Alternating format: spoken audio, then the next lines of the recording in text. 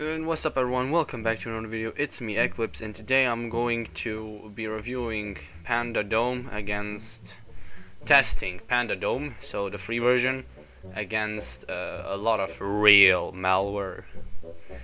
So yeah, right now I do not have real-time protection on because I want to uh, scan it right click first and then I will uh, run the remaining with behavioral blocker but first I want to check out um, exactly all of its like components. So we have scan critical area scan we have full scan and custom scan. So you can choose any you want. Have antivirus you can turn it on off. You have reports events scheduled scans you can scan now etc and we have VPN honestly if you need this you're might wanna have it, yeah. Then we have this is your devices overview. This is support. Then we have dark web scanner. I don't know what this. I don't know what this honestly means, but it's a pretty interesting feature as far as I see. Then we have USB protection. Scans any USB device. Sorry if it's laggy, I know it's laggy. This VM has no hardware acceleration, so it's gonna lag. And then this is what we're gonna look at today. 68, oh my god, we're one, we're literally one digit away. But yeah, this is what we're gonna be looking at today. So, process monitor mostly. When I'm going to uh, run the remaining samples, I'm going to look at process monitor only, and no, none of the, you know, none of the real-time modules because that's not what we want. So this is kind of like Kaspersky, which has like which has like rescue disk. This is for I'm guessing Petya and Satana, but like you still need a decryptor, which it exists for Petya. If in case you didn't know, there is a decryptor for Petya and for those threats. Then we have your products, and you can add stuff, which I don't know why you need honestly. So you can see I have real-time protection turned off as you can see. So we are not gonna look at real-time protection here. We're gonna look at behavior blocker. And for before that I will scan this entire folder with panda antivirus and then we'll see what it's gonna detect. So let's go ahead and do that right now. Alright and uh, as you can see we're done. Detected 82 out of uh, 94 and we have 14 left so let me calculate that real quick. How what is the detection ratio? So we had um 94 no we have 94 uh, minus 14 so detected 80 divided by 94 that is 85.1% detection ratio. Not terrible but not amazing so detection ratio isn't perfect. And we are left with a bunch of other things. So first thing first, I'm going to rename this to exe preferably. There we go. And I'm going to, uh, you know, run all of these. So, yeah. Real-time protection is not going to be enabled, so, yeah we're looking at behavior blocker only, which is right here. And I'm going to have it open as well. nice! That's, that's literally the perfect number you can possibly have on, on this.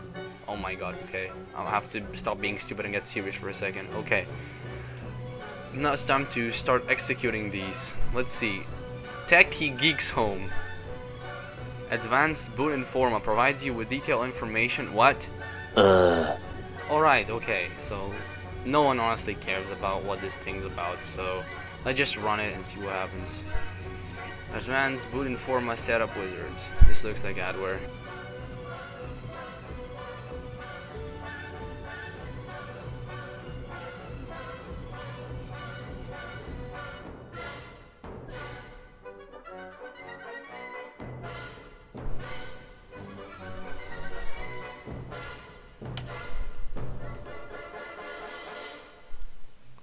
What do you mean? This ain't secure. This looks sus. Yeah, bro. Because this is completely legit. Techie Geek Squad, oh my god, bro. Like, what is that? Like, what the heck? You know what? Let's run JavaScript. Run, run JavaScript, and let's see what happens. JScript. Where's the JScript?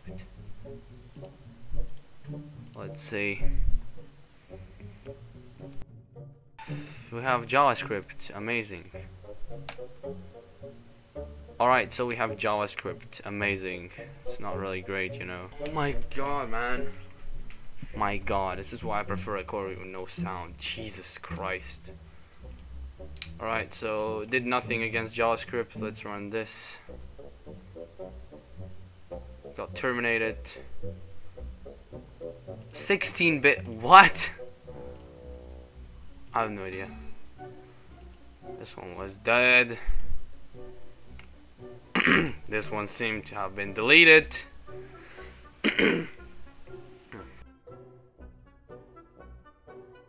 let's run the rest of JavaScript. and this script and this script. See what happens. We've a lot of scripts. Oh, amazing. and this. This did nothing, I think. Oh wow, what, what, what, what, what? Oh boy, okay. Jesus Christ. And fast. What the?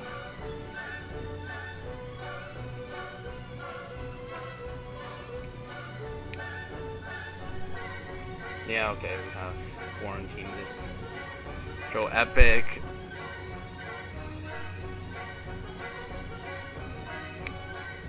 Alright, so... Oh, this one. Doesn't work. Amazing. So, I think this is it. Let's see. Let's check the scripts. We still have scripts going. Now, I'm going to restart the computer and we'll see what happens after I do that. And we're back, and as you can see, there's some sus, um, you know, there's some pretty suspicious pop-ups have going right there, and yeah. This doesn't look like great thing. Oh my god, it keeps trying to start. Let's see, uh, Task Manager. It's, it's insane. Let me go ahead and get some uh, second opinion scanners and check it out. Let's actually let's actually use Kaspersky virus removal tool. Feels like a reliable option for this kind of thing. For the kind of infections we have today. Let's see what he's what Kaspersky is gonna say. It's a whopping 105 megabytes big, so that's pretty respectable.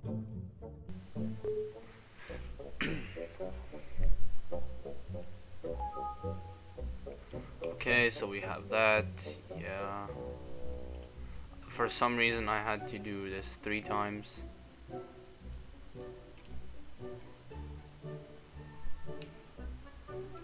Alright, let's begin, I guess. Oh, it's loading. Yeah, great. Okay, we go. So it doesn't matter. Let's just start the scan. this is gonna take a bit, so yeah. I'm going to speed this up because this is gonna take a while, so I guess I'll see you later. Alright, so we are back and it seems like it detected a bunch of things, so you have this, we have a worm, which is JavaScript file, and we have a script, all the JavaScripts are malicious, we have, yeah, mostly the freaking JavaScripts, so. There's also one in memory, a ton of scripts still. This one I think is malicious. So I'm going to continue with all these.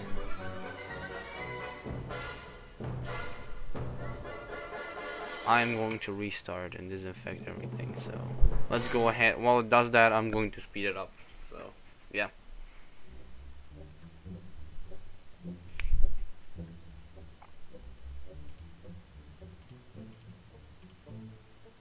No idea what happened there, but yeah, it might have been might have infected. Yup, I think it might have infected the uh, panda. Oh man, I think there was a virus that infected panda as well.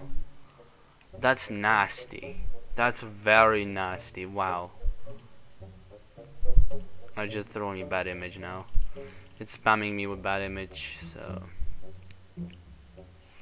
yeah, this one still here.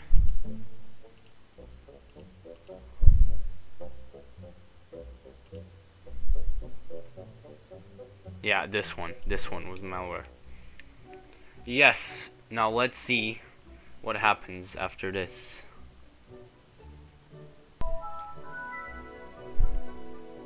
Okay, we are back and uh, the Kaspersky virus removal tool is initializing. So let's wait for that to happen and then we'll see what's in memory still. But I think we're clean! Oh, but where is something in memory though? Oh. This thing, which is hitting memory really hard. I don't know what this is.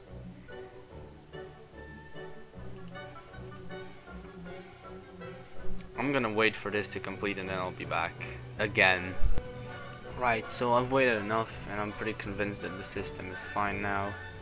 I'm going to as well stop the scan. Also I wanted to tell you that this has a very weird and suspicious name in memory, but this is actually the this. So I don't know why that is the thing, but uh, it is. And there we go and this is not malicious so that's it